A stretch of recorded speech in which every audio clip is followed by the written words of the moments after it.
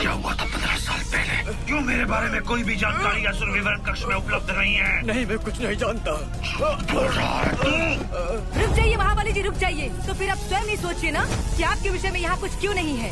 हो सकता है आप इस ग्रह के मूल वासी ही ना हो। मुझे पानी की आवाज़ आ रही है। मुझे आ रही है? अच्छा अच्छा देखते हैं। बोल